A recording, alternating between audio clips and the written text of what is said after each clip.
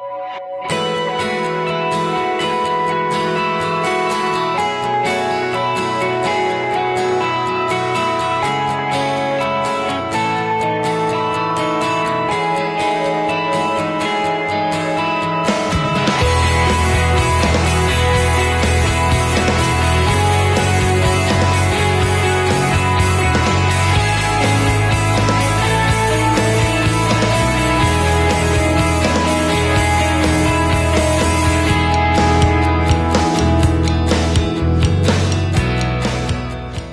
make sure that all people eligible for social care services receive a personal budget to purchase support for themselves. I believe personalisation should really be called liberation because it stops people doing unto you and it allows you to have things done with you and at your direction. So basically, my personal budget has allowed me virtually full control of everyday life, and I can do anything as and when I want. If he wants to go to the theatre, or if he wants to go into town, or even if we want to get a taxi, a special taxi for him because he has a wheelchair, we can do that. We will make sure that there's a range of support services for people to purchase.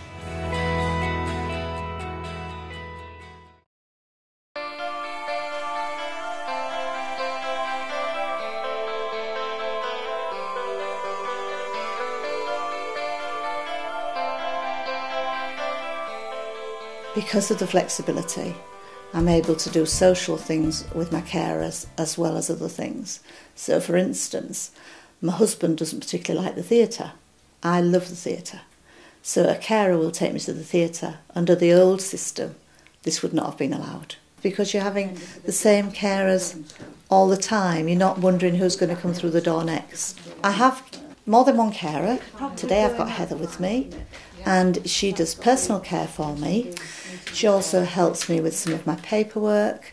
She does a little bit of housework for me, and because I'm an uncontrolled epileptic, if I have an epileptic seizure, she deals with that as well. I do have to have someone 24 7 with me, and Heather fulfills part of that time.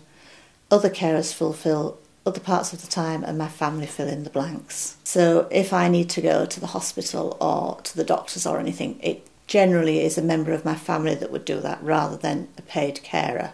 So it's very important the part that's played by your family and your friends, and that it's very important that it's not taken for granted that all families can do this. One of the things I'd put down was I wanted to go swimming.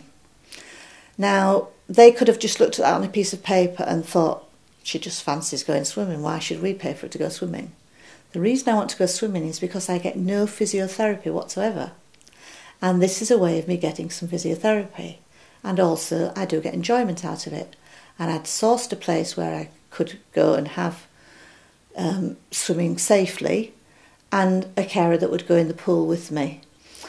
I got advice by attending lots of different seminars, also a lot of the voluntary groups, and then also talk, talking to friends who and acquaintances who I've met at user groups and such like. Preparing and putting together my own personal budget and what was involved in that has given me the skills to help other people to do the same thing. Give them a little bit of advice on where to advertise for staff, the sort of questions to ask at interview, things to make certain are in place, for instance, their liability insurance, such like make sure they've got either a payroll manager on board or if they want to do it themselves, put them in touch with someone who can teach them.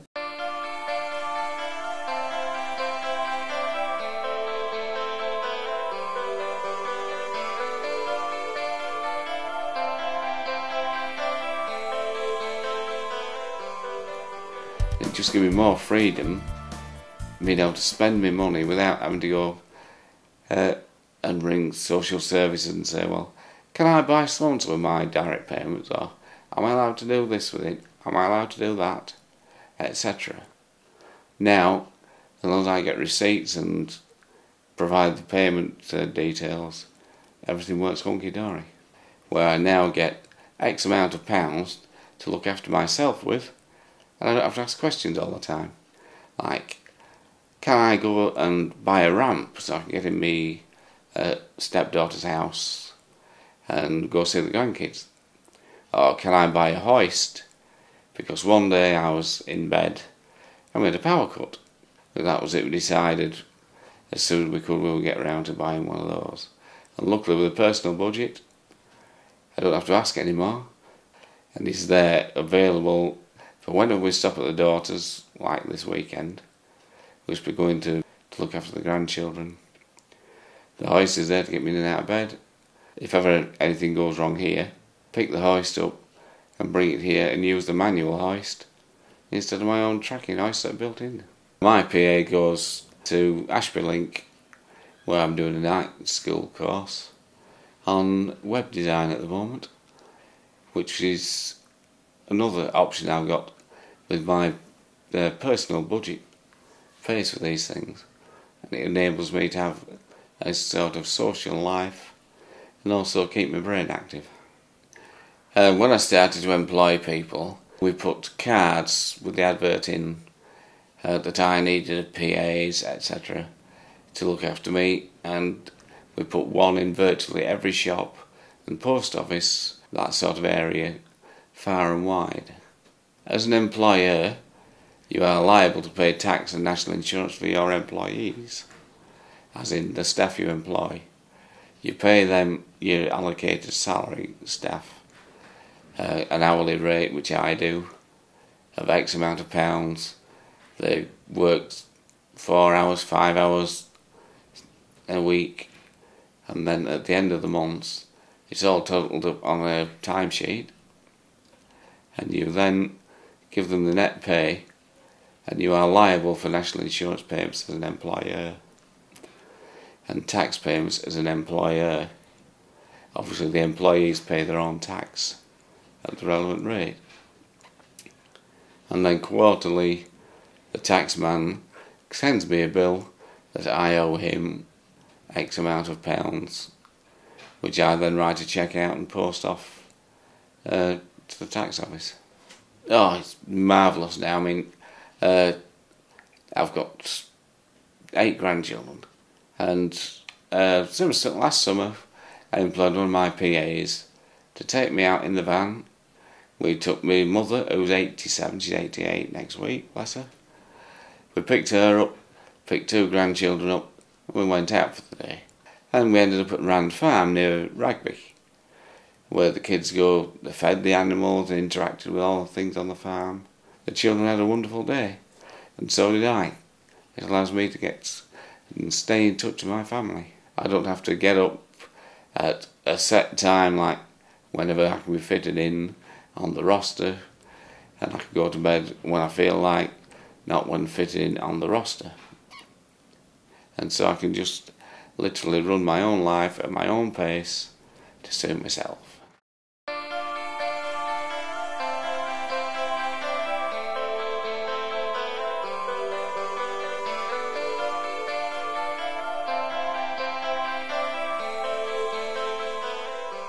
My husband had a major, major stroke in September 2009 and it completely paralysed him all the way down on the right hand side, from taking his speech to his swallowing to the use of his arm to use of his leg, and he couldn't move at all. Well, we were with social services for six months, and then he was handed over to an agency. Um, I wasn't too keen on the agency we were with, so I had a word with the lady from social services, our care manager, and she came and we decided to go on to personal budget. It's helped him to go out. If I'm on my own, I can't move them myself because it's too it's too heavy and it's too hard work for me. so that's all, folks. That's it, so what do you say when you're on? Mummy, Mummy. I'm coming, baby. There you are. You can get taxis now that do do wheelchairs, so you can order a taxi and I can get him into town and take him around town. The first place he makes for is a music shop. He'll go to the music shop and he'll buy jazz CDs. He'll go to the library and he'll buy jazz. Um, the theatre he enjoys tremendously and he hasn't been able to go for a long time and just recently we've been able to take him. Went to our granddaughter's little show that they put on and he's going to the operatic uh, in March to see Scunthorpe Operatic do Annie Get Your Gun. And we don't have to worry about any money. If he wants a bit of money, he's got a little bit left after he's paid the carers for him to spend on himself. I think it's a good idea, a very good idea for everybody, really. It's not difficult, it's not a difficult thing to do. All you do is you pay, you just pay them and just get on with it. People are a little bit frightened of personalised budget, but there's nothing to be frightened of at all.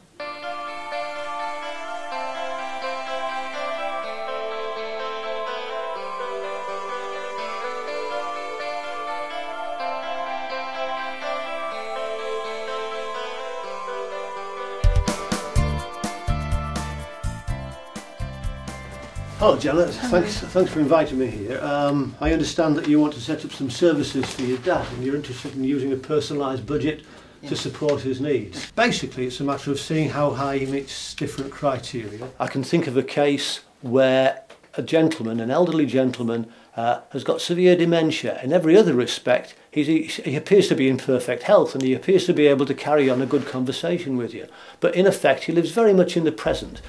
And I suppose that always stretches across the clock, really, because your dad's day and night differentiation Yes, is getting rather confused, Exactly. isn't it? So, And it isn't going to get any better, of course. I mean, that's going to, you know, you know advance. exactly, yeah. Mm, How long has he been progressing like this? Four years, three years, probably three to four years. He tends to forget when daytime and nighttime beg- begin and end, so his hours are irregular.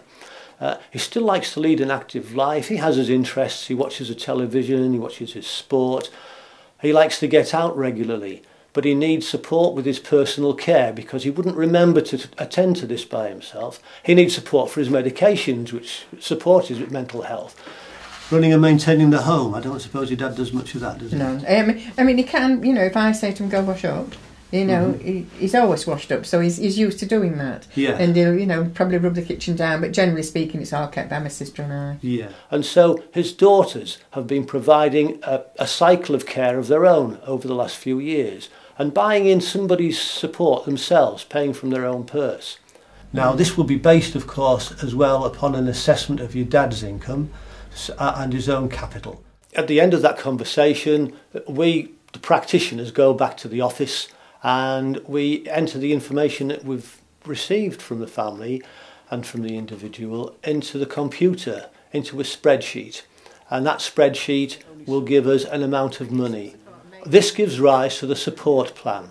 Uh, so at the state of the support plan, having agreed the financial side of things with the family and with our managers, we then have to know make sure that we know that the family understands how much money that they've got to contribute themselves. So, altogether, the support plan does a number of things. First of all, it reflects what that individual's needs and aspirations are.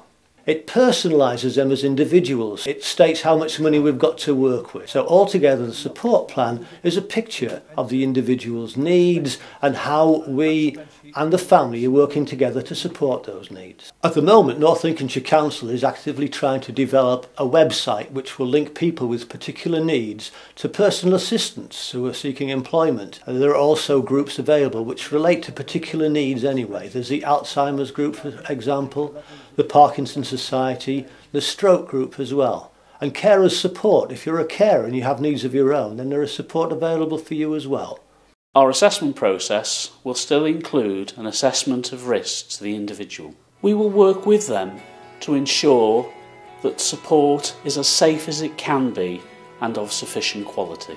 We will offer help for people to recruit personal assistants safely and we will continue to monitor the quality of support that they receive. No matter how people want to use their personal budget, we still want them to receive safe services.